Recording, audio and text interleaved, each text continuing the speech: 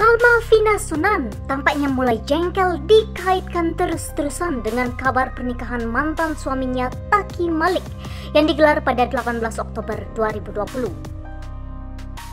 Beberapa netizen bahkan tampak menuding Salma Vina Sunan belum move on dari Taki Malik yang baru saja melepas masa dudanya. Sebelumnya melalui unggahan di akun instastorynya, Salma Vina Sunan mengaku bahwa dirinya hari itu lega karena sudah terbebas dari bayang-bayang. Karena saya percaya akhirnya datang juga waktunya Tuhan angkat separuh beban hidup saya. Hari ini saya bisa hidup terbebas dari bayang-bayangnya. Lega banget Tuhan. Diberkatilah orang yang percaya kepada Tuhan yang pengharapannya adalah Tuhan. Tulis Salma Vina menyelipkan sepotong ayat dari Alkitab.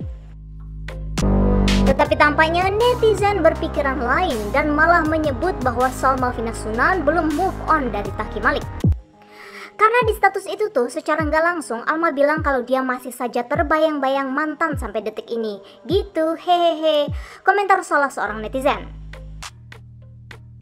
kebayang-bayang dalam hal negatif. Netizen kemarin-kemarin gak bisa move on dan itu beban sangat berat. Semua yang gue lakuin pasti dikaitin ke dia dan itu beban, bukan bayang-bayang karena masih cinta. Jangan tolol. Balas tegas sama Vina Sunan. Ada juga netizen yang mempertanyakan, mengapa unggahan ayat Alkitab akhirnya dihapus Salma dari instastorynya. Kok ayat Alkitabnya dihapus yang dipost beberapa menit yang lalu di instastory Alma? Kenapa dihapus? Nggak pede? Malu? Apa masih ragu-ragu percaya sama kepercayaan yang sekarang?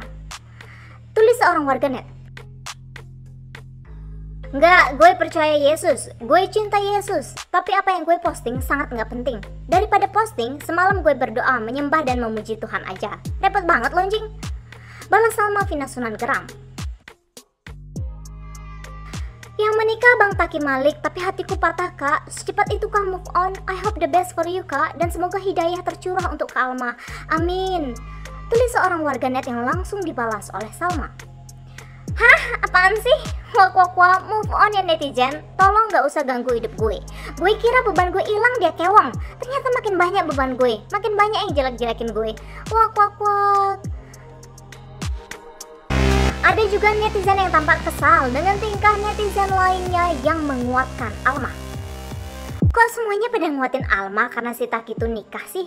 Yang ada nih ya, kalau yang ditanya soal Taki, mau muntah tuh mungkin Almanya. Jadi dia nggak bakal sedih lah kalau si Cebol tuh nikah.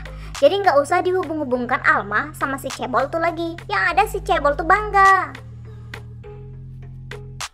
Muntah mbak aslinya, tapi netizen dikasih tahu bandel. Tulis sama Vina Sunan.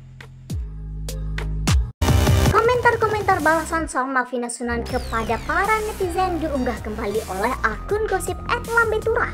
Sontak warganet mengomentari unggahan tersebut. Sebelum mengatain seorang penghafal Al-Quran dengan suaranya yang merdu dengan sebutan cebol, tolong dipikirkan kembali bahwa fisik itu pemberian Allah. Berarti kalian yang ngehina cebol sama aja yang ngehina ciptaan Allah. Semoga anak keturunanmu tidak ada yang cebol ya. Buat yang ngatain cebol, Si Alma semakin begitu malah jadi semakin kelihatan insecure-nya.